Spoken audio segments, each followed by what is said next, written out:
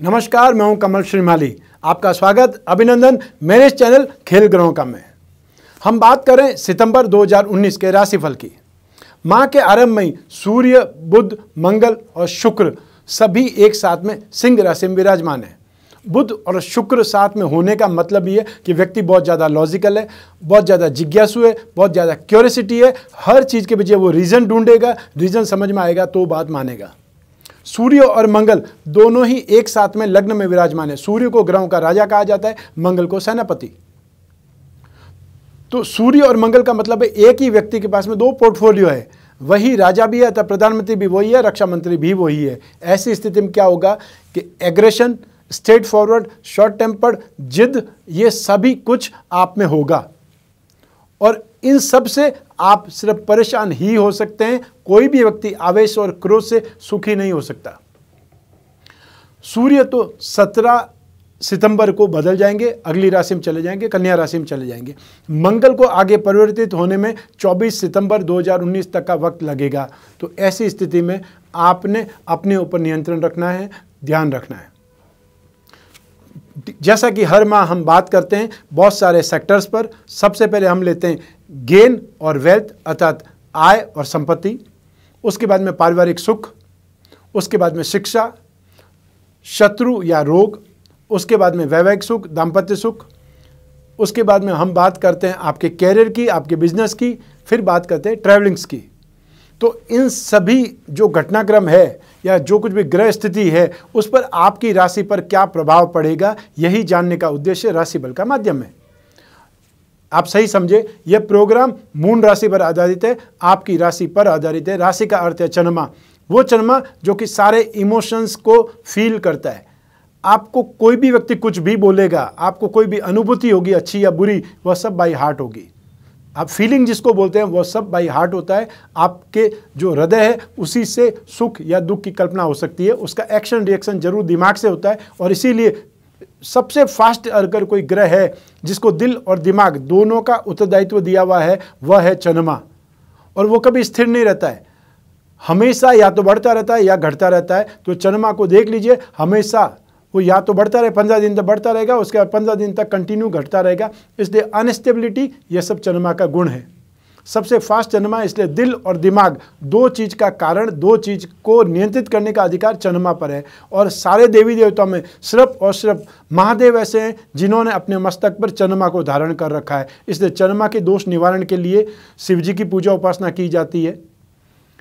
आइए, अब बात करते हैं सबसे पहला सेक्टर अर्थात गेन एंड वेल्थ दोनों का स्वामी एक ही ग्रह है, अर्थात बुध है। और इस बुध के दोनों ही भावों पर शनि की दृष्टि है। उसके बावजूद भी मैं ये बोल सकता हूँ कि 10 सितंबर 2019 को बुध उच्च राशि में चले जाएँगे।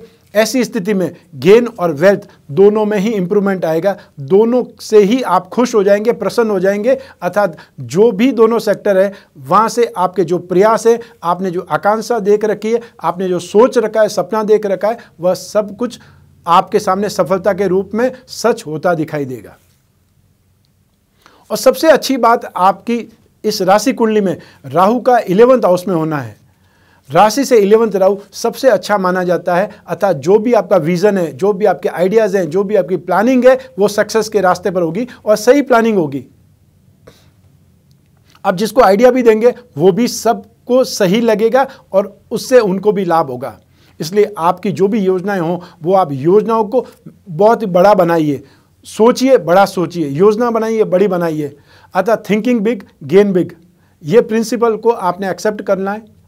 इससे आपको जो कुछ भी सक्सेस मिलेगी, वो आपकी एक्सपेक्टेशन से कहीं ज़्यादा बेटर सक्सेस मिलेगी। अनएक्सपेक्टेड गेन शायद इसी को कहते हैं। तो इनकम के मामले में 18 सितंबर 2019 से जो ही शनि मार्गी हो जाएगा, आपको राहत मिलने लगेगी, क्योंकि शनि जो कि वक्री थे पापी ग्रह होकर के जब वक्री कोई ग्रह होता है तो अति पापी हो जाता है, अति क्रूर हो जाता है तो उसका परिणाम हमेशा नेगेटिव ही आएगा। शनि जो कि आपकी राशि कुंडली सप्तम भाव को इलेवंथ हाउस गेन को और साथ में सेकंड हाउस को देख रहे हैं तो उन्होंने अप्रैल से लगा करके जो स्थिति आपके साथ में की है, इतने इतने माह तक, उनसे आप संतुष्ट हो चुके हैं, परेशान हो चुके हैं, चाहे वो घरेलू ज़िंदगी में, आपकी वैवाहिक ज़िंदगी में इनकम से और संपत्ति से।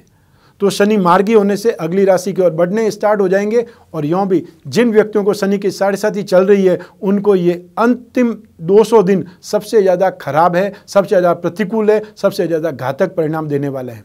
इसलिए जिन लोगों को भी शनि की साढ़े साथी चल रही है, जी हाँ मैं आपको सही बोल रहा हूँ, जिन लोगों की वृश्चिक राशि है, उन लोगों को यह शनि की साढ़े साथी का अंतिम 200 दिन चल रहे हैं, उसके बाद में धनु राशि मकर राशि और कुंभ राशि इन तीन राशियों को शनि की साढ़े साथी चलेगी। अतः जो शनि की साढ़े साथी को अंतिम दिन चल रहे हैं, वो वृश्चिक राशि को चल रहे हैं। 200 अंतिम 200 दिन, उस समय शनि लास्ट में रहता है, अर्थात गुदा स्थान पर रहता है। इसलिए सबसे ज़्यादा उसको प्रतिकूल परिणाम देने वाला कहा गया है। इसलिए ये आपको एडवांस में वार्निंग है एडवांस में मैं आपको सलाह दे रहा हूँ कि आप अपनी लिक्विडिटी को, अपने जो भी कार्यकलाप है, उनको नियंत्रित करें, बहुत देखभाल करके काम करें।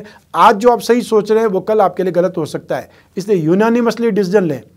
आप अपने से, अपने घर वालों से, पत्नी से भाई बहनों से सबसे पूछ करके फिर आगे बढ़ें तो आपके लिए ज़्यादा बेटर रहेगा। आपके लिए घातक परिणाम नहीं हो पाएँगे, क्योंकि आपके पास में खोने के लिए अगर कम है तो उतना ही लॉस हो सकता है। इसलिए जितना कुछ हो सकता है, उसको संभाल लीजिए, उसको कैच कर लीजिए, उसको कंट्रोल कर लीजिए। तो इनकम के मामले में मैंने आपको जैसा बताया कि आपकी जो भी योजनाएँ होंगी, वो सफल रहेंगी। तो धन के मामले में भी यही है कि जो पेरेंटल प्रॉपर्टी से रिलेटेड कोई मामले उलझे हुए हैं, वो 18 सितंबर के बाद में आप प्रयास करेंगे तो वो सुलझते जाएँगे। यदि आपने इन्वेस्टमेंट किया हुआ है किसी प्रॉपर्टी पर शेयर मार्केट में स्पेकुलेशन पर या ये बोल सकते कमोडिटी मार्केट में तो ये टाइम पीरियड आपको गेन देगा। अतः 10 सितंबर 2019 से आपके लिए बेटर टाइम पीरियड है गेन के मामले में भी वेल्थ के मामले में भी। ससुराल से संबंध यदि बिगड़े हुए थे तो अब ठीक हो जाएँगे कोई कोई रास्ता निकल जाएगा। आपके अपने खानदान वालों के साथ में भी कुछ न कुछ पैचअप हो जाएगा, अर्थात वहाँ से भी आपको सपोर्ट मिलेगा। जो भी मिसअंडरस्टैंडिंग थी, जो कुछ भी व्यवधान थे, वो दूर हो जाएँगे तो आपका मार्ग प्रशस्त हो जाएगा, आपका टाइम पीरियड ठीक है। इसलिए मैं ये बोल सकता हूँ, आपको आगे बढ़ना चाहिए। अब आते हैं पारिवारिक सुख की ओर। बृहस्पति वहाँ पर स्थित है। बृहस्पति जहाँ पर होते हैं, उससे ज़्यादा जहाँ देखते हैं, वहाँ पर इंप्रूवमेंट देते हैं, वहाँ पर फ़ायदा देते हैं। तो बृहस्पति राशि से एट्थ हाउस पर, राशि से टेंथ हाउस पर और राशि से ट्वेल्थ हाउस पर देख रहे हैं। और जो मंगल है फोर्थ हाउस के लॉर्ड वो मंगल अभी लग्न में है और लग्न में कोई भी ग्रह बैठा हुआ, उसको दोष नहीं लगता है, उसको खराब नहीं बोला जाता है, प्रतिकूल नहीं बोला जाता है। तो मंगल की दृष्टि कुंडली में फोर्थ हाउस पर है। तो आपको पारिवारिक सुख मिलेगा, लेकिन साथ ही साथ आपको परिवार वालों के साथ में कुछ न कुछ मामलों में दो चार होना ही पड़ेगा, क्योंकि मंगल की दृष्टि है, मंगल आवेश का अधिपति है, मंगल लड़ाई झगड़े कराने का अधिपति है। कोई न कोई मामले में आप आवेशी हो सकते हैं, क्योंकि समय ऐसा चल रहा है। आप अपना आवेश, अपना क्रोध छुपा नहीं पाएँगे, और लोग यही चाहते हैं, आपको उकसाएँगे कोई कोई बात के लिए कि आप अपना विस्फोटक रूप दिखाएँ, जो नहीं बोलना चाहिए वो भी दिखलाएँ, और फिर वो वो घर वाले ही बोल पाए, देखो इन्होंने ऐसा बोल दिया। तो आपने समझ करके चलना है कि लोगों के उकसावे से आपने नहीं उफनना है, नहीं एक्स्ट्रा वर्ड होकर के दिखलाना है। इसलिए अपने पर संयम रखें। ये परिस्थितियाँ टेम्परेरी है। 24 सितंबर 2019 को मंगल राशि से आगे बढ़ जाएँगे। आपके लिए स्थिति अच्छी हो जाएगी। तो पारिवारिक सुख के मामले में ये समय अच्छा है। भूमि, भवन, वाहन के मामले में बोल सकते हैं कि ये समय अच्छा है आपके लिए। यदि कुछ खरीदना चाहते हैं, कुछ रिनोवेशन कराना चाहते हैं तो आपके लिए समय ठीक है। फिर भी उसको लिमिट में करके ही काम कीजिएगा। ऐसा नहीं हो कि आप थोड़ा सा ठीक करवाने जाएँ और वहाँ पर इतनी बड़ी प्रॉब्लम निकल जाए कि आपका बजट ही गड़बड़ा जाए। आइए, अब बात करते हैं शिक्षा के माध्यम से। अतः शिक्षा के क्षेत्र में आपको क्या मिलने वाला है? जिन लोगों की सिंह राशि है, उन व्यक्तियों को फिफ्थ हाउस का अधिपति शिक्षा भाव का अधिपति, संतान भाव का अधिपति, बृहस्पति है, एक त्रिकोण का अधिपति केंद्र में जाने से स्थिति अनुकूल है राजयोग की स्थिति बनी हुई है। अर्थात बृहस्पति आपके लिए सब मिलाकर के शुभ परिणाम ही देंगे। शिक्षा के शिक्षा से शिक्षा का क्षेत्र नवम भाव होता है, उसका अधिपति मंगल है, वो भी लग्न में है, इसलिए उसको भी सही बोलना चाहिए। और 24 सितंबर के बाद में मंगल जब कन्या राशि में चले जाएँगे तो उनकी फोर्थ दृष्टि शिक्षा भाव पर होगी। यह भी एक अच्छा परिणाम आप बोल सकते हैं, क्योंकि मंगल और बृहस्पति को मित्र कहा जाता है। तो जो फाइनेंस के स्टूडेंट हैं, जो कुछ भी कॉमर्स के स्टूडेंट हैं, या जो एमबीए के स्टूडेंट हैं फाइनेंस फ़ील्ड में एमबीए कर रहे हैं, या कोई ऐसे व्यक्ति हैं जो टीचर्स की ट्रेनिंग कर रहे हैं, या जो जो बी एड ठीक एम उसकी पढ़ाई कर रहे हैं, उनके लिए ये समय बहुत अच्छा कह सकता हूँ। और जो साइंस के स्टूडेंट हैं, उनके लिए मैं बहुत ही सावधानी से टाइम पीरियड को पार करने का बोलूँगा, क्योंकि फिफ्थ हाउस में शनि और केतु एक साथ में विराजमान है। राशि से पंचम शनि फाइनेंशियली व्यक्ति को तोड़ने का काम करते हैं, क्योंकि राशि से पंचम पंचम स्थान का अर्थ यहाँ पर यह है कि जो सेवंथ हाउस है, सेवंथ हाउस से इलेवंथ हाउस ज़रूर है। उसके बावजूद भी फिफ्थ हाउस बुद्धि का भी है फिफ्थ हाउस का अर्थ यहाँ पे डे टू डे की इनकम से है। शनि वहाँ जाकर के फाइनेंशियल वरीज देने का काम करता है। अर्थात व्यक्ति को रिसोर्सेज ऑफ़ इनकम से तोड़ देता है, वहाँ से वीक कर लेता है। इसलिए सावधान रहना ज़रूरी है। अपनी रिसोर्सेज के माध्यम से इनकम के माध्यम से बुद्धि को आपने नियंत्रित करना है। तो एजुकेशन की बात कर रहे थे। तो एजुकेशन में आपने जो फाइनेंस के स्टूडेंट हैं, उनको बहुत अच्छा टाइम पीरियड है।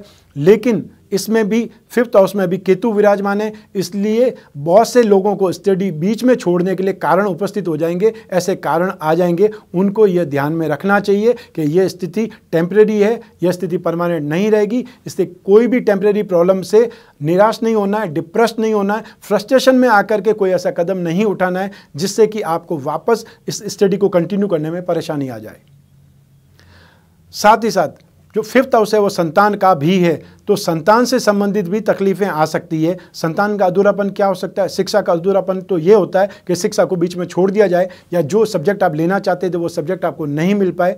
जो आप करना चाहते थे, वो अपनी ज़िंदगी में ना कर पाए। जो आपने पढ़ाई की थी, उसका आपकी लाइफ में फ़ायदा ना पाए। लेकिन संतान का अधूरापन अर्थात मिसकरेज हो सकता है एबॉर्शन हो सकता है, वो स्थितियाँ भी केतु के माध्यम से देखी जाती है, फिफ्थ हाउस संतान का है। तो संतान का अधूरापन का मतलब यही है कि केतु उस रूप में आपको प्रतिफल दे सकता है। तो जो बहनें प्रेग्नेंट है, गर्भवती है, उनको बहुत ज़्यादा केयरफुल रहना है। इस समय काल में जो सिंह राशि की, सिंह राशि की लेडीज़ है, सिंह राशि की बहनें हैं, उन, उनको बहुत ज़्यादा केयरफुल रहना है, जो कि प्रेग्नेंट है, इसलिए जो भी डॉक्टर सलाह देते हैं, जो भी आपको आराम की सलाह दी जाती है केयर करने की सलाह दी जाती है, वो ज़रूर माने। और केतु के यदि उपाय कर सकती हैं तो केतु के उपाय करने का प्रयास करें। छोटा सा मंत्र है, ओम केम केतुए नमः। इतना सा छोटा मंत्र आराम से बैठे बैठे भी जप सकती हैं और अगर हो सके तो हर मंगलवार को लौकी या मूली का दान दें। केतु के लिए इतना तो आपको उपाय करना ही पड़ेगा। आइए, अब बात करते हैं next sector health and enemies शत्रु और रोग। दोनों एक दूसरे के पर्यायी हैं। आपके जीवन में शत्रु आ जाएँगे तो भी आपको परेशान करेंगे। आपके जीवन में रोग आ जाएँगे तो भी वो आपको परेशान करेंगे। लेकिन यहाँ पर शनि अपने से द्वादश भाव में है। नेगेटिव का नेगेटिव यहाँ पर पॉजिटिव बोल सकते हैं। लेकिन फिर भी आपको यह ध्यान ज़रूर रखना चाहिए, क्योंकि कुंडली में सेवंथ हाउस का लॉर्ड भी शनि है और सिक्स हाउस का लॉर्ड भी एक ही ग्रह है, वो शनि है। इसलिए 18 सितंबर 2019 के बाद में रोगों में राहत ज़रूर मिलेगी और शनि के जो रोग हैं, वो हैं घुटनों से संबंधित, हार्मोन से संबंधित हो सकते हैं, थायराइड से संबंधित हो सकते हैं एसिडिटी संबंधित हो सकते हैं, गैस से रिलेटेड प्रॉब्लम जो हो सकती है एबनमल पार्ट से रिलेटेड प्रॉब्लम हो सकती है, वो शनि से संबंधित देखी जा सकती है तो शनि के जो रोग हैं, वो आपको परेशान करेंगे, लेकिन 18 सितंबर के बाद में आपको राहत भी मिलेगी। एनिमीज़ की बात जहाँ तक करें तो एनिमीज से जो भी आप परेशान हैं, जो भी कोर्ट कचहरी के मामले चल रहे हैं, जो भी क्लेश या वाद विवाद चल रहे हैं, उसमें भी आपको राहत की संभावनाएँ हैं। उसमें भी आपको केयरफुल रहना चाहिए, क्योंकि जो ही सूर्य आपकी राशि से चेंज हो जाएगा अर्थात 17 सितंबर को सूर्य अगली राशि, कन्या राशि में चले जाएँगे। वहाँ से आपको संभावनाएँ हैं कि स्थिति आपके नियंत्रण में आ जाए, स्थिति आपके अनुकूल हो जाए, फिर भी आपने सितंबर माह में जो कुछ भी मामले हैं, कोर्ट कचहरी के मामले हैं, उनसे ज़रूर सावधान रहना चाहिए और अपनी ओर से कोर्ट कचहरी में जाने का प्रयास नहीं करना है। अपनी ओर से आपने दावेदारी नहीं करनी है कि जो कुछ भी होगा वो कोर्ट में देखेंगे, ऐसा करने से फ़ायदा नहीं होगा। और कोर्ट केस में अक्सर यही देखा गया है, जीतने वाला भी हारने वाला है, हारता है और हारने वाला भी हारता ही है, दोनों ही नुकसान में रहते हैं, अल्टीमेटली गेन किसी को भी नहीं होता है। और सिर्फ़ और सिर्फ़ जो आपके हिस्से में आती है, परेशानी आती है टाइम खराब होना होता है और आपके पैसे का लॉस होता है, वो अलग। आइए, अब बात करते हैं सेवंथ हाउस की सेवंथ हाउस का अर्थ यहाँ पर, दाम्पत्य सुख है, ग्रस्त सुख है, आपकी लाइफ का बेटर हाफ़ है। तो सातवें घर का अधिपति शनि है और शनि की तीसरी दृष्टि कुंडली में सेवंथ हाउस पर है। तो जब सेवंथ हाउस पर दृष्टि है तो ऐसी स्थिति में क्या होगा कि जो भी ग्रस्त सुख, दाम्पत्य सुख है, उसमें भी इम्प्रूवमेंट आना स्टार्ट हो जाएगा जब शनि मार्गी हो जाएँगे, क्योंकि शनि की जहाँ जहाँ पर दृष्टि है, वहाँ वहाँ पर जो संभावनाएँ थी नेगेटिविटी की, वो सब कुछ ठीक होंगी, वो सब कुछ सही होंगी। जो ही शुक्र अगली राशि में जाएगा अर्थात 9 सितंबर को शुक्र चेंज होकर के कन्या राशि में चले जाएँगे, अपनी नीच राशि में चले जाएँगे, वहाँ से आपको अपने जीवन साथी के स्वास्थ्य पर ज़्यादा केयर करना पड़ेगा, ज़्यादा ध्यान देना पड़ेगा, क्योंकि शुक्र सेवंथ हाउस का कारक माना जाता है। भूख सुख का कारक माना जाता है, दाम्पत्य सुख का कारक माना जाता है तो शुक्र जब नेगेटिव होंगे तो सुख में कमी करेंगे, जो उनका पार्ट है, जो उनका पोर्टफोलियो है। ऐसी स्थिति में कोई न कोई, ठीक कोई न कोई आपके कटु वचन हो सकते हैं, कोई न कोई ऐसी स्थिति हो सकती है मान मोटबल हो सकती है, जिसको आपने संभालना पड़े, और संभालना पड़ेगा। कोई न कोई कहा सुनी आप दोनों के बीच में हो सकती है, और जो लोग जो रिलेशन में है, जो लोग अटैचमेंट में, उन लोगों को बहुत ज़्यादा केयरफुल रहना पड़ेगा, क्योंकि शुक्र नीच राशि का होने से आपसी दरार और ज़्यादा बढ़ सकती है। जो पिछले समय से चली आ रही थी, जो आप ठीक करने की कोशिश कर रहे थे, वो जो डिस्टेंस है, वो जो आपके बीच में अनबन है, आपके बीच में ठीक है एक प्रकार से मिसअंडरस्टैंडिंग है, एक प्रकार का डिस्टेंस आ गया है, उस चीज़ को पाटने में आपको ज़्यादा मेहनत करनी पड़ेगी, क्योंकि ये समय उस सिचुएशन को और क्रिटिकल कर सकता है और वीक कर सकता है, बिगाड़ सकता है। लेकिन सब मिला करके जो ग्रस्त सुख है दाम्पत्य सुख है, वो ज़रूर आपके लिए 18 सितंबर के बाद में स्थिति ठीक है, वो ज़रूर आपके हिस्से में सही ढंग से आएगा, लेकिन आपको एफर्ट ज़्यादा करने पड़ेंगे, प्रयास ज़्यादा करने पड़ेंगे अपनी मैरिड लाइफ को ठीक करने के लिए, उसको कंट्रोल करने के लिए, नियंत्रित करने के लिए। आइए, अब बात करते हैं कैरियर की, अर्थात टेंथ हाउस की। तो टेंथ हाउस से कर्म देखा जाता है, और जब कर्म करते हैं, तभी ही आपको लाभ की संभावनाएँ बनती है। बिना कर्म के लाभ नहीं हो सकता है।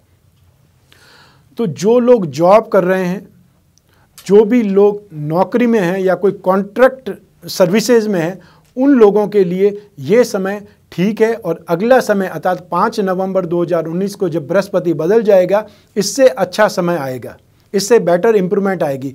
इसलिए अगर आप स्विच ओवर करना चाहते हैं, यदि आप जॉब चेंज करना चाहते हैं तो ये समय आपके लिए अच्छा है। ये समय में किए हुए प्रयास, आपकी नौकरी में भी इम्प्रूवमेंट आएगी और साथ ही साथ आपको यदि आगे बढ़ने का मौका मिलता है यदि आपकी सैलरी बहुत अच्छी मिल रही हो, सुख सुविधाएँ अच्छी मिल रही हो तो आपको चांस लेना चाहिए क्योंकि आगे समय और ज़्यादा बेटर है। तो इस समय इस समय ली हुई रिस्क भी आपके लिए नेगेटिव परिणाम नहीं देगी क्योंकि आगे समय आपके लिए शुभ है, आगे समय आपके लिए लाभकारी है, आपको सक्सेस देने वाला है। जो बिजनेसमैन है, जो लोग भी बिज़नेस कर रहे हैं, यदि वो मीडिया से रिलेटेड हैं fashion and cosmetic gift article, readymade garment, event entertainment, media, electronics, gems and jewellery imitation jewellery, show business, handicraft, antique flowers, जो भी शो बिज़नेस करते हैं, श्रृंगार प्रसाधन से रिलेटेड जो लोग हैं, वो लोगों को बिज़नेस में बहुत ज़्यादा केयरफुल रहना पड़ेगा, क्योंकि इस समय नाइन सितंबर को आपके पोर्टफोलियो के लॉर्ड, आपके बिज़नेस के लॉर्ड नेगेटिव होने जा रहे हैं। इसलिए एक स्पीड जो है, वो स्पीड कम हो जाएगी। शनि चाहे 18 सितंबर को मार्गी हो जाएँगे, उसमें इनकम में इंप्रूवमेंट आ जाएगी। अर्थात जो आपका बकाया पैसा है, वो आपको मिल सकता है। जो आप एफर्ट करेंगे पैसे को पाने के लिए, वो ज़रूर हो जाएगा। नए नए कॉन्टैक्ट मिल सकते हैं। आपको एडवांस मिल जाएगा। लेकिन जो ऑलरेडी काम आपके चल रहे हैं, उसमें ज़रूर ऑब्स्टिकल्स आ जाएगी और उसमें हो सकता है एक स्लोनेस आ जाए। एक सारे काम को एक एक स्लो मोड पे आ जाता है धीरे धीरे होने लगते हैं, सरकने लगते हैं, ये वाली बात बोल सकते हैं। इसलिए आपने उस एफर्ट को अपना निरंतर बनाए रखना है और ऐसी प्लानिंग करनी है कि उस स्लो में भी आपका काम कंटिन्यू चलता रहे, क्योंकि ग्रह अपना जो फल है, वो देंगे ज़रूर। हमको एक्टिव होकर के उस फलों को नियंत्रित करना है। अच्छा है तो और ज़्यादा अच्छा लेना है और नेगेटिव है तो हमें कंट्रोल करना है। साथ ही साथ, जो भी लोग फाइनेंस से रिलेटेड काम करते हैं, जो भी लोग मार्केटिंग से रिलेटेड काम करते हैं, जो टीचर्स हैं प्रोफेसर हैं लेक्चरर हैं उन लोगों को इस समय बहुत अच्छी सक्सेस मिलेगी। उन लोगों को नेम फेम भी अच्छा मिलेगा। उन लोगों को गेन भी अच्छा मिलेगा। एप्रिसिएशन भी अच्छा मिलेगा। और साथ में यश का गुणगान भी होगा। अर्थात ये टाइम पीरियड आपके लिए सक्सेस का है। अब बात करते हैं हम ट्रैवलिंग की। तो कुंडली में ट्वेल्थ हाउस पर, राशि कुंडली में ट्वेल्थ हाउस पर बृहस्पति की दृष्टि है। तो बृहस्पति फाइनेंस लॉर्ड भी है। बृहस्पति धार्मिकता का अधिपति भी है, अध्यात्म का अधिपति भी है, धर्म कर्म का अधिपति भी है। तो आपका जो खर्च हो सकता है धार्मिक कार्यों पर हो सकता है, आपका खर्च ट्रेवलिंग पर हो सकता है, धार्मिक ट्रेवलिंग पर हो सकता है, तीर्थ यात्रा पर जाने से हो सकता है, घर में कोई मंगल कार्य आपको करने से खर्च हो सकता है। और साथ ही साथ, यदि ऐसी ट्रैवलिंग जो फाइनेंशियल अरेंजमेंट के लिए की गई हो, वो ज़रूर सक्सेस होगी। अर्थात, यदि आप कोई बिज़नेस के लिए पर्सनल लोन के लिए ट्राई कर रहे हैं यदि अपने संबंधियों के पास में या किसी और मीटिंग में जा कर के यदि अपने बिज़नेस के लिए कोई लोगों से मिल करके पार्टनर को ढूंढ रहे हैं, अपने सहयोगियों को ढूंढ रहे हैं तो वो यात्राएँ ज़रूर आपकी सक्सेस हो जाएँगी, वो यात्राएँ आपके लिए सफलतादायक रहेंगी और उसमें आपका काम शत प्रतिशत बनने के योग हैं। तो जो एक्सपेंसेस की बात है एक्सपेंसेज होंगे एक्सपेंसेज हो हम पैसा इसीलिए कमाते हैं कि हम खर्च कर पाएँ और खर्च इसीलिए करते हैं कि जो हमारा उद्देश्य है वो पूरा हो पाए। तो यहाँ पर जो आप खर्च करेंगे, वो आपको चुभेगा नहीं, वो जो यात्राएँ करेंगी, वो आपको चुभे भी नहीं। अतः जो भी यात्राएँ आप करें, चाहे अपनी कार से चले जाएँ, चाहे फ़्लाइट से चले जाएँ और चाहे एब्रॉड चले जाएँ, क्योंकि ये जो स्थिति है सिक्स हाउस एट्थ हाउस और ट्वेल्थ हाउस की जो स्थिति है कि एट्थ हाउस का स्वामी वो बृहस्पति है, वो कुंडली में ट्वेल्थ हाउस को देखता है, इसलिए एब्रॉड की यात्राएँ भी फाइनेंस के लिए की गई हों, अपने बिज़नेस को बढ़ाने के लिए यात्राएँ करें, या कोई लोग घूमने फिरने के लिए यात्राएँ करें, और हो सकता है कुछ लोग तीर्थ यात्रा के लिए भी विदेश चले जाएँ। हो सकता है वेटिकन सिटी इसीलिए फ़ेमस है। तो इस संदर्भ में, ठीक, जो भी आपके प्रयास होंगे, वो आपको सफलता देंगे। आइए, अब बात करते हैं उपायों की। तो सिंह राशि के व्यक्ति, जो कि सुख से, अर्थात अपने पारिवारिक सुख से समस्याएँ देखेंगे तो साथ ही साथ जो रिलेशन में है, वो लोग समस्याएँ देख सकते हैं। और साथ ही साथ जो रोग और दुश्मनी वाली स्थिति है, उसके लिए आपको क्या करना पड़ेगा? तो सबसे पहले पारिवारिक स्थिति के लिए कहते हैं कि सूर्य का तो उपाय आपने करना ही करना है, क्योंकि आपकी राशि है। तो हमेशा जिन लोगों की सिंह राशि है, उन लोगों को सूर्य का मंत्र जाप अवश्य करना चाहिए। और रोज़ाना सूर्य को अर्घ्य देना चाहिए। अर्घ्य कैसे देना चाहिए यह मैं बहुत बार बतला चुका हूँ। एक तांबे का पात्र लेना है, उसमें पानी डालना है, उसमें थोड़ा सा कुमकुम डालना है, थोड़ा गुड़ या चीनी मिक्स करनी है और साथ ही साथ लाल रंग का पुष्प या गुडल का पुष्प मिल जाए तो और और सर्वश्रेष्ठ है और ज़्यादा बेटर है। ओम घृणी सूर्य नमा और या फिर गायत्री मंत्र का उच्चारण करते हुए उस सूर्य को अर्घ देना है, अपनी पूरी हाइट पर अपने हाथ ले जाने हैं, आपकी आँखों के सामने से और सूर्य के सामने से, अतः सूर्य और आपकी आँखों के बीच में वो जल गिरना चाहिए। लोग, कई लोग ये बोलते हैं कि मेरे पाँव में जल गिर गया, ऐसा कुछ भी नहीं है। कोई समस्या नहीं है। जल कहीं न कहीं तो गिरेगा ही गिरेगा। तो आपने सूर्य को अर्घ देना है, यह आपने हमेशा ध्यान रखना है। सूर्य का सूर्य का कवच होता है, द्वादश आदित्य कवच, अर्थात बारह ही राशियाँ हैं और बारह ही माह के लिए कोई न कोई अधिपति सूर्य है, इसलिए द्वादश आदित्य कवच आपने धारण करना चाहिए। हर रविवार को गेहूँ, गुड़ या तांबे का दान करें।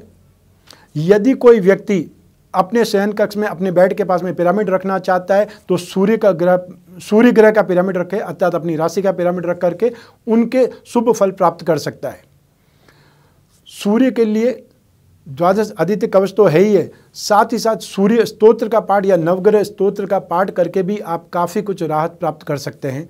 जो लोग अपने पारिवारिक स्थिति में कला का सामना करेंगे, उन लोगों को बजरंग बाण का पाठ करना चाहिए। हर मंगलवार को हनुमान मंदिर में जाके सिंदूर का चोला चढ़ाना चाहिए।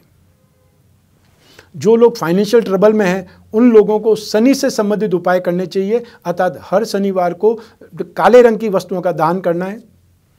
जो लोग रोग पीड़ित हैं, जिनको गठिया है, जिनको थायराइड से रिलेटेड प्रॉब्लम है, हार्मोन से रिलेटेड प्रॉब्लम आ रही है, उन लोगों को भी शनि के उपाय करने चाहिए। आपको ये हमारा कार्यक्रम कैसा लगा? जो कुछ भी आपके सुझाव हैं, वो कमेंट बॉक्स में कमेंट बॉक्स में देने का ज़रूर प्रयास करें। और यदि कोई आलोचनाएँ हो, निसंकोच आप लिख सकते हैं, क्योंकि आपकी आलोचनाओं से ही हमें वापस अपने आप को सुधारने का मौका मिलेगा। क्या कुछ आपको सही नहीं लगा, वो हम वापस उसको इम्प्रूव करेंगे और आप तक सही ढंग से सही प्रोग्राम पहुँचाने का प्रयास करेंगे। हमेशा की तरह, इस बार भी मैं यही कहूँगा, स्वस्थ रहिए, प्रसन्न रहिए, अपना, अपने छोटे बच्चों का और अपने घर के बुज़ुर्गों का ख्याल रखिए और अपने आसपास के वातावरण को इतना शुद्ध रखिए कि हमें आगे वाली, आगे आने वाली पीढ़ियों को हवा और पानी की समस्या न देखनी पड़े। नमस्कार।